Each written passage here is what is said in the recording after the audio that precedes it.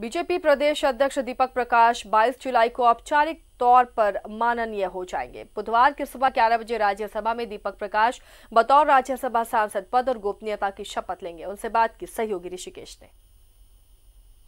Sir औपचारिक तौर पर कल आपका शपथ ग्रहण है। कल से आप माननीय संसद की नज़र में हो जाएँगे। राजनीतिक करियर आपका काफ़ी लंबा रहा है। एक नया अनुभव और एक नई अनुभूति का संगम होगा कल जब मैं शपथ लूँगा। और झारखंड के उन दृश्यों को अपने हृदय में समाया हुआ हूँ, जिसके लिए हम लोगों ने 40 वर्षों तक संघर्ष किया है राजनीतिक जीवन के लिए, सामाजिक जीवन के लिए।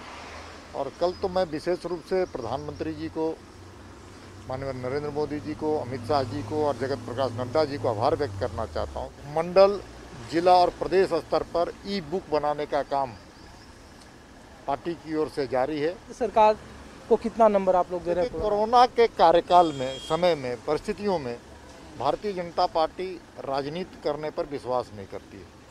लेकिन जनता की जो समस्याएँ हुई हैं उन समस्याओं को हम सरकार के समक्ष रखना हमारे लिए नैतिक दायित्व तो है क्योंकि मैं विपक्ष की में हमको जनता ने दायित्व दिया है। सच